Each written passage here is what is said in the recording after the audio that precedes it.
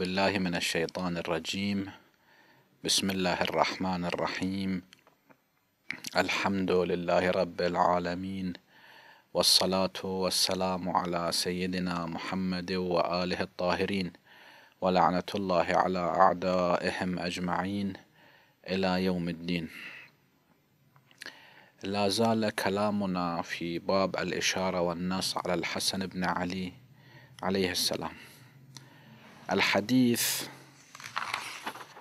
السادس من أحاديث هذا الباب.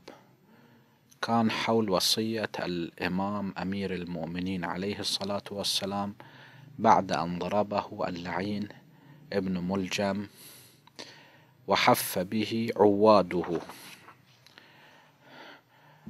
فقال هذا الكلام وصلنا إلى هذا المقطع حيث يقول أمير المؤمنين عليه الصلاة والسلام أما وصيتي فأن لا تشركوا بالله جل ثناؤه شيئا ومحمدا صلى الله عليه وآله فلا تضيعوا سنته.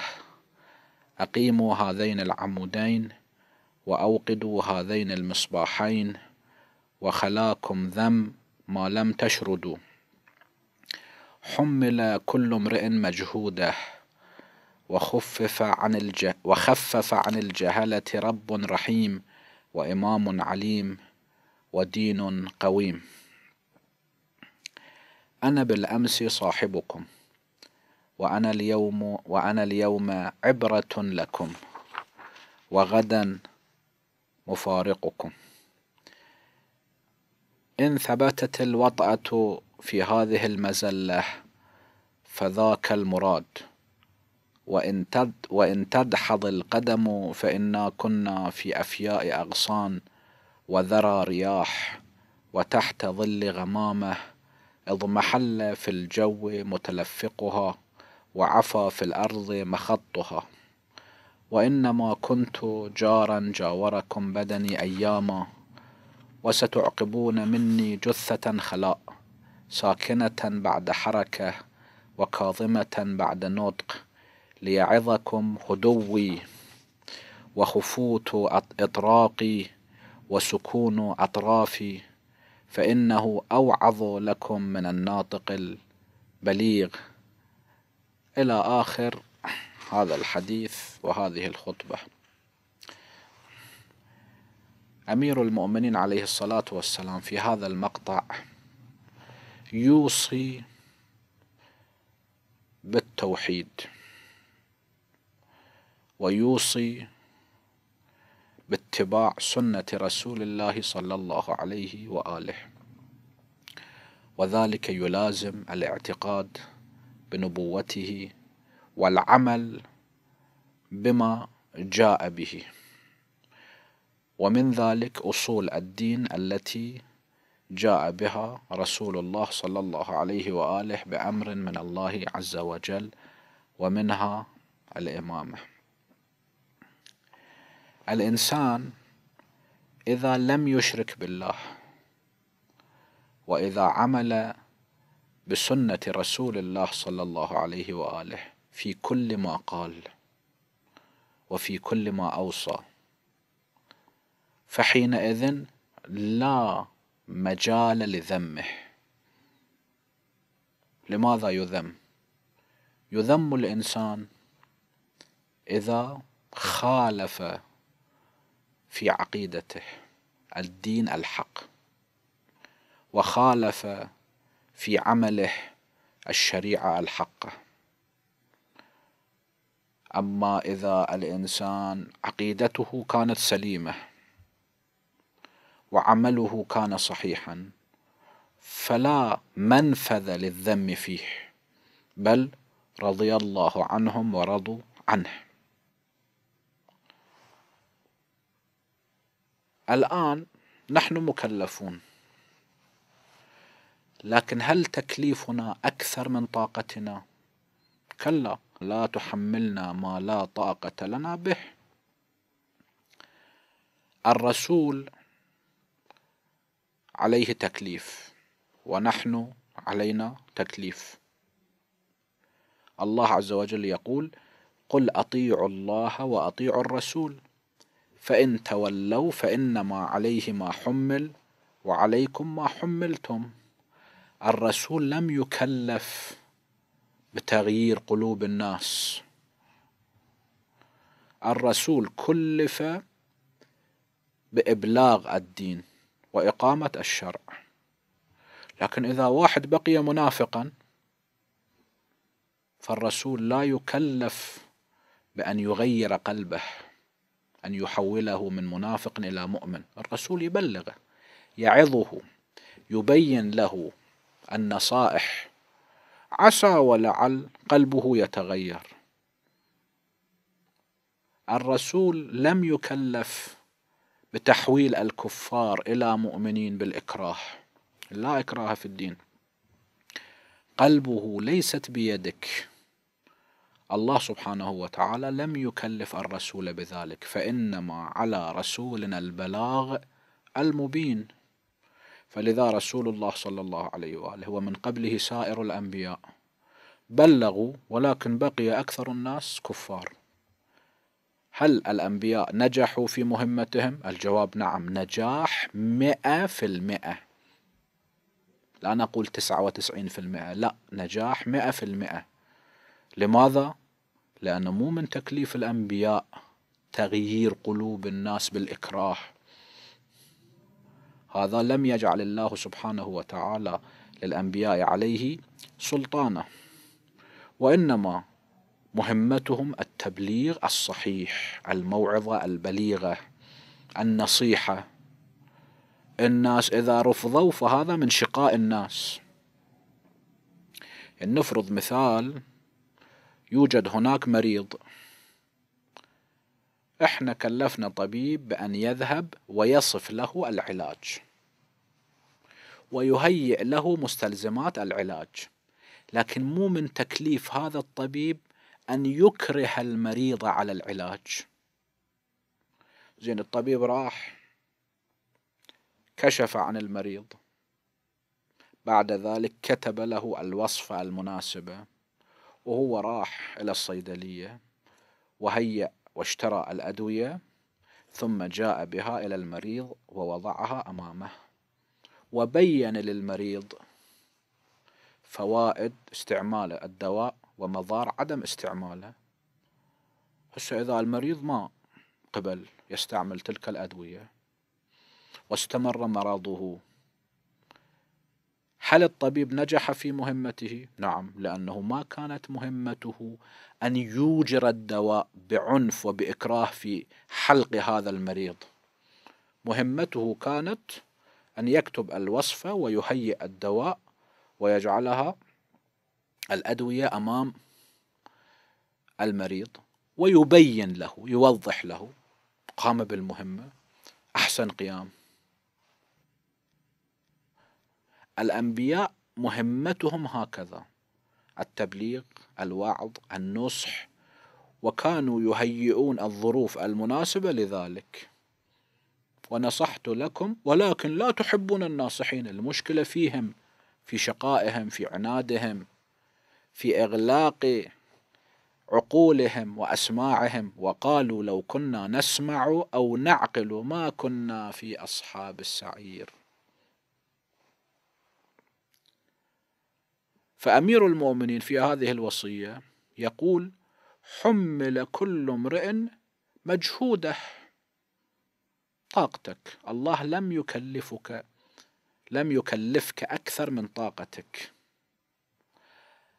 هسه إذا واحد إلى له إذا واحد جاهل بجهل قصوري. الله سبحانه وتعالى خفف عنه. رفع ما لا يعلمون. الله لا يعاقب الجاهل الذي لم يكن مقصرا في جهله. يعني مثلا نفرض أن هناك حكم شرعي. هذا الحكم الشرعي بسبب فعل الظلمة. أحرقوا الكتب قتلوا العلماء.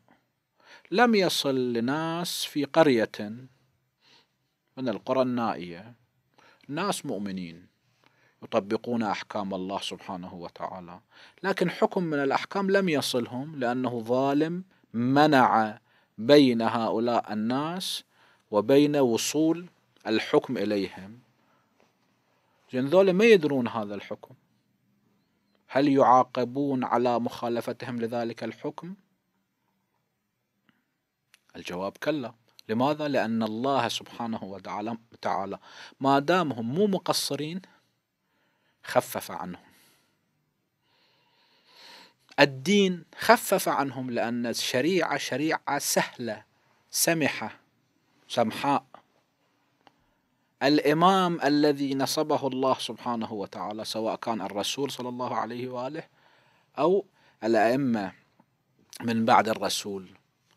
أيضا خففوا عن هؤلاء الذين كانوا يجهلون من غير تقصير. في حديث أن رجلا في زمن أبي بكر قد شرب الخمر واعتقل على ذلك. فلما جيء به إلى أبي بكر قال له لما شرب شربت الخمر؟ وقد حرمها الله سبحانه وتعالى. قال لم أكن أعلم أن الخمر محرمة فأنا حديث عهد بالإسلام وكنت في ظهراني قوم يشربون الخمر ولم أكن أعلم بأن الله سبحانه وتعالى حرمها. فهنا تحيروا ماذا يفعلون؟ فقال أمير المؤمنين علي عليه الصلاة والسلام طوفوا به على مجالس المهاجرين والأنصار. واسألوهم هل قرأ أحد عليه آية تحريم الخمر؟ هو يقول حديث عهد بالإسلام ومن قوم يشربون الخمر ولم يكن يعلم بأن الخمر قد حرمها الله سبحانه وتعالى. معذور في جهل لو كان صادقا.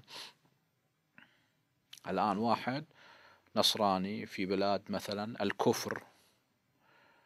إذا اقتنع بالإسلام وأسلم زين يقال له يبين له الأحكام. لكن هو يمكن لا يعلم كثيرا من هذه الأحكام ولا يخطر في باله أن مثلا الشيء الفلاني حرام مثلا. زين هذا معذور. ما دامه جاهلا. فطافوا به على مجالس المهاجرين والأنصار تحقيق أنه هل قرأ أحد عليه آية تحريم الخمر؟ فثبت أنه لم يقرأ عليه أحد ذلك. فأمير المؤمنين علي عليه الصلاة والسلام قال هذا لا حد عليه هذا معذور. لكن الآن علمته. إذا مرة أخرى كررت هذا العمل تكرارك لم يكن عن جهل وإنما يكون عن علم في ذاك الوقت ستكون مستحقا للحد. أما وصيتي فأن لا تشركوا بالله جل ثناؤه الثناء المدح. وأصله من التثنية. واحد اثنان. لماذا للمدح يقال ثناء؟ لأن العمل أو الوصف جميل واللفظ الذي هو المدح جميل ثان. العمل جميل في ذاته ومدحه جميل.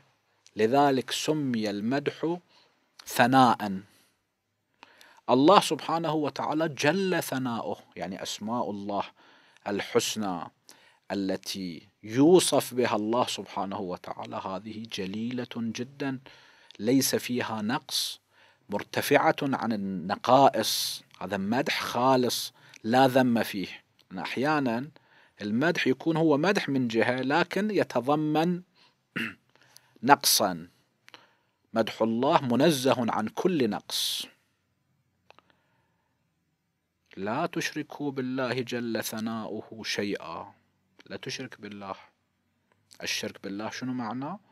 معناه أن تجعل لله شريكا أو أن تصف صفة من صفات الله سبحانه وتعالى الخاصة به لغير الله عز وجل. أما لا إذا وصفت إنسان بصفة ليست خاصة بالله مثلا الرؤوف الرحيم. الرؤوف الرحيم في القرآن أطلقت على أطلقت على رسول الله صلى الله عليه وآله. لقد جاءكم رسول من أنفسكم إلى أن يقول بالمؤمنين رؤوف رحيم. زين هل وصف الرسول بالرحيم شرك؟ الجواب كلا لأن هذه اللفظة تطلق على الله سبحانه وتعالى بمعنى وتطلق على الرسول بمعنى آخر. لا بأس بذلك. أو إذا نسبنا عملا إعجازيا لنبي من الأنبياء أو وصي من الأوصياء. بإذن من الله سبحانه وتعالى. فهل هذا شرك؟ الجواب كلا. حينما نقول إن عيسى أحيا الموتى بإذن الله هل هذا شرك؟ الجواب كلا. حينما نقول إن الأنبياء الله سبحانه وتعالى قد يطلعهم على الغيب هل هذا شرك؟ الجواب كلا. عالم الغيب فلا يظهر على غيبه أحدا إلا من ارتضى من رسول. حينما نقول إن عيسى يخلق من الطين كهيئة الطير فينفخ فيه فيكون طيرا بإذن الله. هل هذا شرك؟ الجواب كلا لأنك تقول إن هذا الإعجاز بإذن من الله سبحانه وتعالى. هذا اولا ومحمدا صلى الله عليه وآله فلا تضيعوا سنته. يعني إلزموا محمدا صلى الله عليه وآله. فلا تضيعوا سنته. أقيموا هذين العمودين. الإسلام قائم عليهما الشهادتان على الشهادتين. شهادة أن لا إله إلا الله وأن محمدا رسول الله صلى الله عليه وآله. وأوقدوا هذين المصباحين. لأن الإنسان عندما يسلم الله سبحانه وتعالى يضيء قلبه يضيء دربه. إذا أشرك أو لم يعتقد بنبوة الرسول صلى الله عليه وآله ولم يتبع الرسول صلى الله عليه وآله يكون في الظلمات. الله ولي الذين آمنوا يخرجهم من الظلمات إلى النور. وأوقدوا هذين المصباحين. وخلاكم ذم ما لم تشردوا. يعني إذا لم تخالفوا الشرود الميل عن الشيء. إذا لم تخالفوا فخلاكم ذم يعني لا مجال لذمكم. ثم بعد ذلك يقول حمل كل امرئ مجهوده قل أطيعوا الله وأطيعوا الرسول فإن تولوا فإنما عليه ما حمل. هنا الجزاء مقدر. يعني فإن تولوا فلا يضره شيئا لأنه إنما عليه ما حمل من التبليغ وعليكم ما حملتم من الطاعة. طاعتكم ليست تكليفا للرسول. طاعتكم تكليفكم. إذا لم تطيعوا الرسول ما خالف. أنتم خالفتوا حمل كل امرئ مجهوده وخفف عن الجهله رب رحيم وإمام عليم ودين قويم. المقصود بالجهل هنا الجهل عن قصور لا الجهل عن تقصير لأن الجهل قسمين. الجهل عن تقصير معنى ذلك أن هذا الإنسان كان عليه أن يعلم لكن قصر. هنا ليس بمعذور. إذا واحد عنده رخصة سياقة ويسوق السيارة شاف إشارة مرور ما فهم معناها خالف. هنا يؤاخذ يغرم. ما يقدر يعتذر بأنه لم أكن أعلم بأن هذه الإشارة معناها مثلا التوقف معناها تخفيف السرعة. يقال لها أنت مقصر لأن واحد اللي يقدم على الرخصة لازم يطالع القانون ولازم يحفظ القانون إشارات المرور ثم يمتحن بعد ذلك يعطى الرخصة. إذا هو ما مطالع ما حافظ فتقصير من عنده فجهله ليس بعذر. الإنسان الآن واحد شاب يعيش في مدينة فيها علماء فقهاء.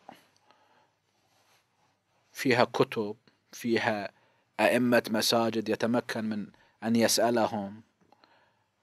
الآن وسائل التواصل موجودة.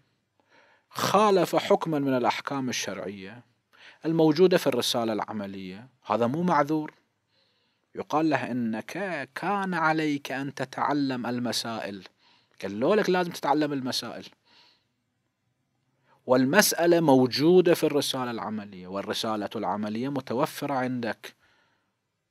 أنت ليش ما قرأت الرسالة العملية؟ تقضي ساعات وساعات في أمور يعني لا طائل تحتها. بس دقائق هم تعلم مسائل الدين.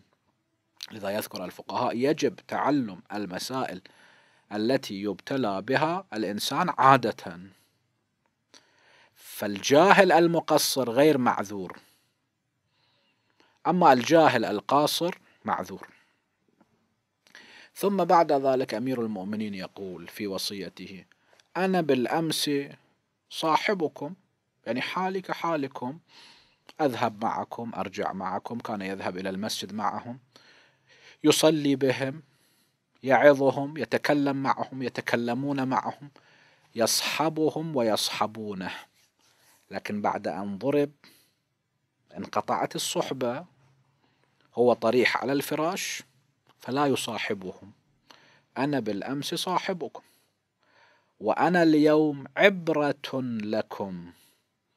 تعتبرون بأنه هذا الإنسان اللي هو ولي من أولياء الله خليفة رسول الله وصي رسول الله صلى الله عليه وآله في هذه الحالة. ويقول قل إنما أنا بشر مثلكم. فإذا الأنبياء والأوصياء أجسادهم أجساد بشرية. فيقتلون يظلمون يتأثرون بالحالات البشرية. نعم الله سبحانه وتعالى فضلهم على العالمين. الله سبحانه وتعالى عصمهم الله سبحانه وتعالى علمهم.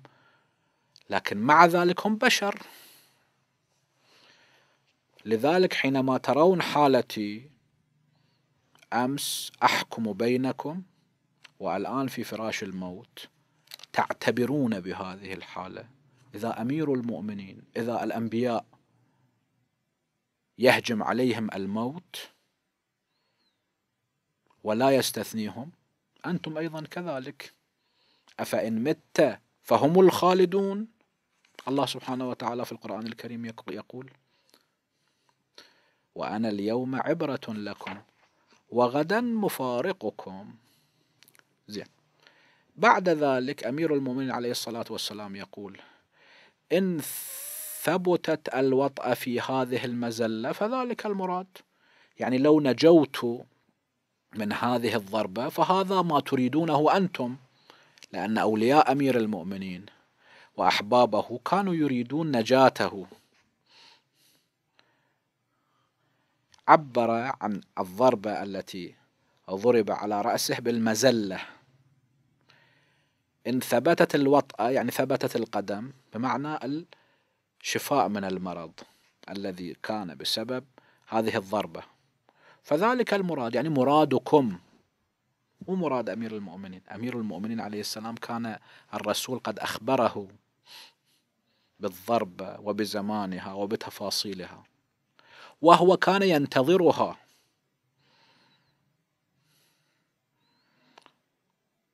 في نهج البلاغة في الخطبة 25 يقول اللهم إني مللتهم وملوني فأبدلني خيرا منهم وأبدلهم شرا مني. لابن أبي طالب آنس بالموت من الطفل إلى محالب أمه. فإذا فذلك المراد يعني مرادكم. وإن تدحض القدم يعني تزل القدم. بمعنى حلول الموت يعني لم يتحقق ما أردتموه وحانت منيتي. فهذا قضاء الله في الخلق.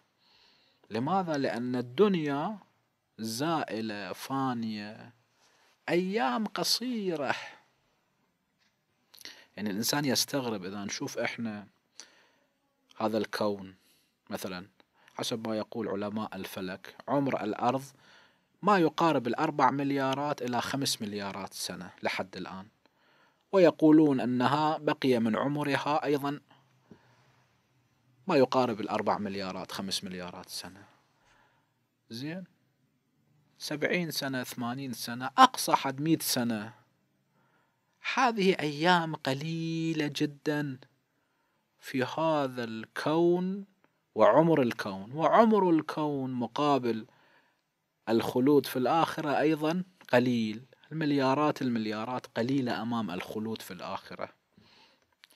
لذا يقول وإن تدحض القدم فإن الجزاء هنا مقدر.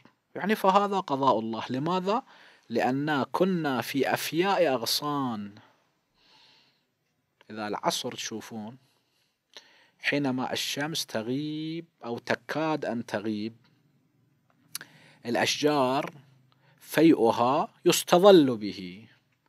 لكن هذا الفي دقائق ويزول. إحنا عندنا ظل وعندنا فيء. الظل كل شيء يمنع من الشمس. هذا يسمى ظل. الفيء ظل العصر لأنه يعود. الإنسان أول الصباح حينما تشرق الشمس يبدأ الفي يبدأ الظل. لكن حينما يصل إلى حد الظهر الظل يتقلص إلى إلى أقصر مقدار. الزوال شنو هو؟ بدء الظل بالاتساع فهذا عندما يبدأ الظل في الاتساع يسمى فيئا لأنه عاد بعد أن تقلص. فإنا كنا في أفياء أغصان شبه الدنيا والعيش فيها كالبقاء تحت في هذا المسافر الراكب. يجي دقائق يستريح تحت هذا الفي. وذرى رياح الرياح عندما تهب تجمع. تجمع الأشياء التي يخف وزنها. هذا يسمى ذرى وذرى الرياح. هذه الأشياء سرعان ما تتفرق وتحت ظل غمامة. تشبيه ثالث. غمامة يعني تارة الغيم أو السحاب عام. تارة لا قطعة. هذه تسمى غمامة. هذه الغمامة لها فيء. لكن لأنها قطعة صغيرة بحركتها بسبب الرياح هذا الفيء يزول وتحت ظل غمامة اضمحل في الجو متلفقها التلفيق يعني الاجتماع يعني الغيم قطع الغيوم الصغيرة عندما تجتمع تصير غمامة هذه الغمامة تظل لكن دقائق وتزول. وعفى في الأرض مخطها يعني ظلها في الأرض دقائق ويزول. وإنما كنت جارا جاوركم بدني أيام أيام قليلة لأن عمر أمير المؤمنين عليه الصلاة والسلام حين شهادته ثلاثة وستين عاما. وستعقبون مني جثة خلاء. الإنسان حينما يموت يتحول إلى جثة ساكنة بعد حركة. وكاظمة يعني ساكتة بعد نطق. حينما ترون هذه الحالة تتعظون ليعظكم هدوي يعني هدوئي. الميت هادئ. وخفوت إطراقي. الإطراق شنو هو؟ بمعنى القوة. وسكون أطرافي. الأطراف الأعضاء ساكنة. فإنما فإنه أوعظ لكم من الناطق البليغ. الإنسان حينما يوعظ بالكلام قد يتأثر قد لا يتأثر لكن حينما يرى هذا تأثره أكثر. لأن القضية تصير وجدانية تخرج عن كونها نظرية. إلى آخر هذه الخطبة التي سنكملها إن شاء الله في حلقة قادمة. هذا وآخر دعوانا أن الحمد لله رب العالمين. وصلى الله على سيدنا ونبينا محمد وآله الطاهرين.